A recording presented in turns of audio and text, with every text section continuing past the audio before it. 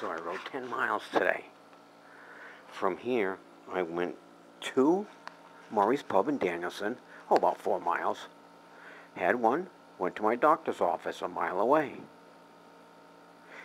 I went for the wrong appointment. Instead of 2 o'clock, it was 3.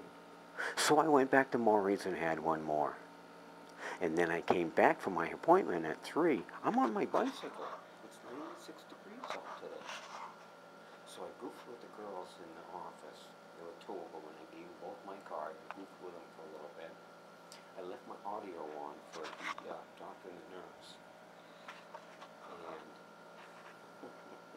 I took an audio on the way out. In fact, I'm a patient, and I took a survey, and I got a good, a good patient award. Ah, no medal. I did it all.